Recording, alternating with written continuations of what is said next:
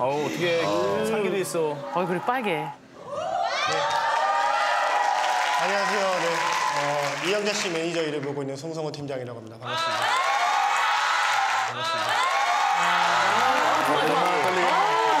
스무 살, 스무 살 좋아요. 시작은. 물 한 잔만 좀 먹을게요. 너무 긴장이 돼요.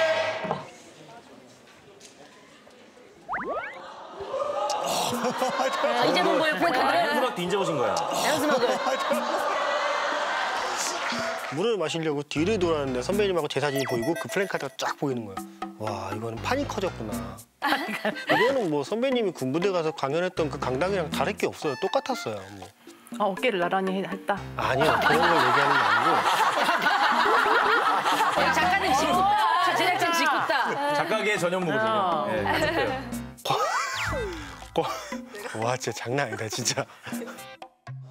오늘 그 뭐 땀 흘리는 거 봐. 여기 학과를 졸업하신 우리 그 임송 매니저님 부탁으로 네.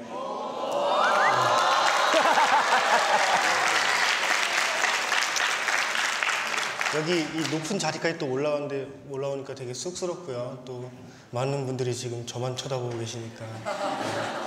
땀이 좀 나기 시작하는데 네. 어, 저는 올해 이제 딱 한 매니저 일을 11년 정도 딱 한 것 같아요. 네. 제가 처음에는 여러분들이 아실지 모르겠지만 그 가수 육각수 분들이라는 가수 육각수 분들이라는 친구들은 맡으면서 모를 수 있죠. 가수 매니저로 처음에 시작을 했어요. 또 지금까지 맡아왔던 연예인들은 이성경 씨.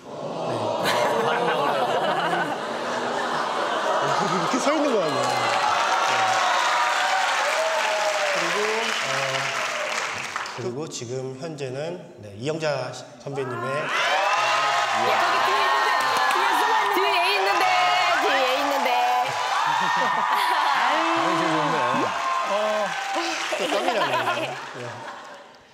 제가 그 처음에 매니저 일을 시작할 때는 음, 뭐랄까요 그 주변들의 시선 뭐, 뭐 이렇게 적, 적는 친구들도 있더라고요. 그래서 다들 엄청 집중해서 들어주셔서 너무 감사했고요. 또 더 잘해야겠다라는 생각을 계속 머릿속에 하고 있었어요. 네. 장단점이 있겠죠 모든 직업에는 어, 땀이 되게 많이 나네요.